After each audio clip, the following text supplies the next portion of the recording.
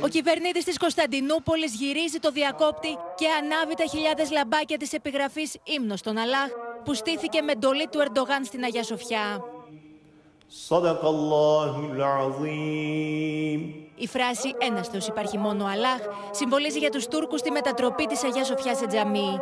Αγία Σοφία Bugün Ayasofya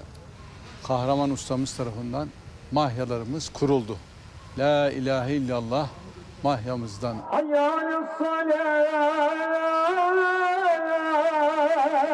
Στην πιο ιερή νύχτα στην παράδοση των μουσουλμάνων, ο Ερντογάν είχε σκοπό στείνοντας μια θρησκευτική φιέστα να πλήξει ξανά το αίσθημα των απανταχού χριστιανών. Ήθελε να θυμίσει σε όλους ότι η Αγία Σοφιά είναι πλέον τζαμί. bütün gönül coğrafyamızın Kadir Gecesi'ni tebrik ediyorum.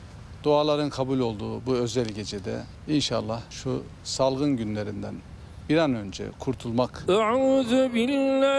η μετατροπή της Αγίας Σοφιά σε τζαμί τον Ιούλιο του 2020 με το φαντασμαγορικό σοου που είχε στήσει ο Ερντογάν άνοιξε μια βαθιά πληγή στους Έλληνες ομογενείς. όπως λέει ο Λεωνίδας Κουμάκης, τα σχέδια του Ερντογάν όμως απέτυχαν. Αυτό εντάσσεται μέσα σε μια ευρύτερη στρατηγική του Ερντογάν να αντιμετωπίσει μια ασφυκτική πίεση που αισθάνεται για πρώτη φορά εδώ και 18 χρόνια που βρίσκεται στην εξουσία. Για τους ομογενείς ήταν μια κίνηση αντιπερισπασμού από τον Ερντογάν. με το να προσελκύσει με αυτό το δεν υπάρχει άλλος Θεός εκτός από τον Αλλάχ τις φωτεινές επιγραφές και τα κίτς στην Αγία Σοφία είναι ένας τρόπος για να ε, προσελκύσει όλους τους φανατικούς. Και όλα αυτά την ώρα που προσπαθεί να δείξει σε όλο τον κόσμο το προσωπείο μιας χώρας που σέβεται την ανεξιθρησκεία.